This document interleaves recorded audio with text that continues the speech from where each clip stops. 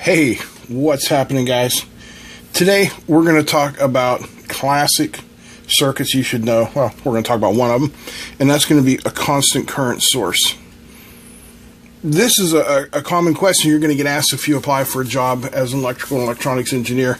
They're going to say, um, Can you design a simple constant current source? There are a multitude of ways you can do it, from, you know, like using a LM317 or an op amp.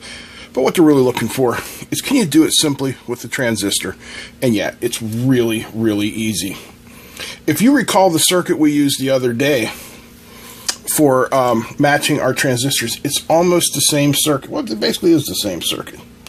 So we have our VCC and we have ground. Then we have our transistor this is going to be an NPN transistor in this case. Right here. And I'm going to use a 2N2222 because that's just like my absolute favorite. Now, from the collector, in between the collector and VCC, this is going to be our load. And then from the emitter, we're going to have an emitter resistor in this case this is RE, and it's going to be 1K. The reason we use an emitter resistor is to prevent a thermal runaway. With a transistor, with a BJT, the hotter it gets, the, the higher it amplifies. The higher it amplifies, the hotter it gets. This prevents that thermal runaway. So then the only other thing we need is a voltage divider, R1, R2 to feed the base. Because we know if we give the base current X, then we are going to get current Y from the emitter. It's going to be constant regardless. So this is how we can build ourselves a constant current source. And I have whacked one together right here to show you guys really simply if I can pick everything up and move it into the picture.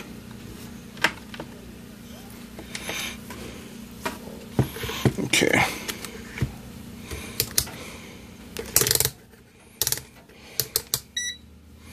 All right, here we go. So, here is R1. Oop, I gotta, should really put that in the picture so you guys can see it, huh? There we go. Here's R1, which is 10K.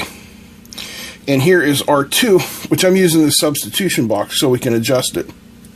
Okay, and we're going to start out with 3K. All right.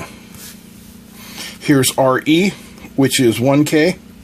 Now here's where the voltage divider feeds to the base of the 2N2222. And right here is where we are grabbing our load, which is this LED, and I've got the amp meter in between so that we can see. Now I'm going to feed this with 5 volts unlimited current.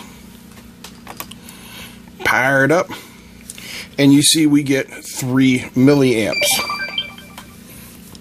With our 10K, 30K resist uh, voltage divider. Now if I change this, let's say we go to 1 to 1, then we get 1.3 milliamp. If I go higher, then we're up to 3.02 milliamps.